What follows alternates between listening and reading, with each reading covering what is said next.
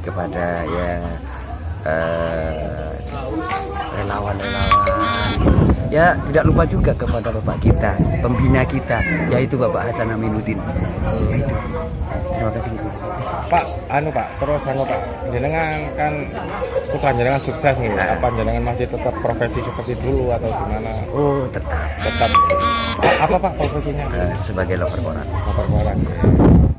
Karena hari ini setelah melalui serangkaian kegiatan pemilu eh, bertepatan dengan tanggal 24 Agustus ini saya akan dilantik menjadi salah satu anggota DPRD di Kabupaten Kota Sebagai wujud rasa syukur saya karena sampai dengan hari ini saya meyakini bahwa ridho orang tua itu adalah ridho Allah maka saya melakukan eh, sebuah ritual eh, membasuh kedua orang tua saya sebagai wujud bahwa mereka lah eh, orang yang berjasa yang telah membesarkan saya sampai bisa menjadi hari ini.